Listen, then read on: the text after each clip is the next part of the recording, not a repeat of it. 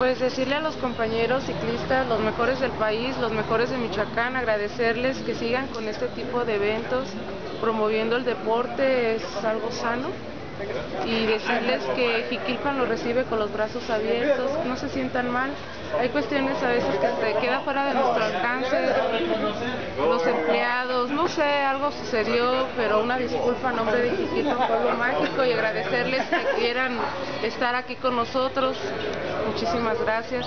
Decirle a la ciudadanía que estamos a sus órdenes y que vamos a seguir recibiendo a la gente que quiera venir a hacer algo bueno por nuestro pueblo. Licenciada, ¿cómo sigue usted de salud?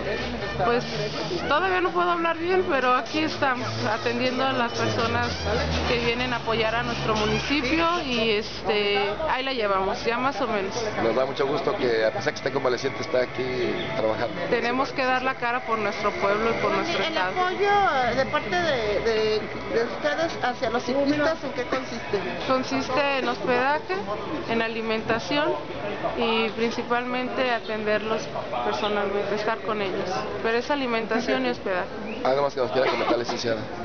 Pues casi no puedo hablar, solamente darle las gracias a la ciudadanía, que esto es gracias al apoyo también de la ciudadanía en nuestra oficina. Por eso nosotros apoyamos a los que vienen de fuera para ayudar a nuestro municipio. Gracias, licenciada. Ahorita ya que termines de desayunaste, vámonos.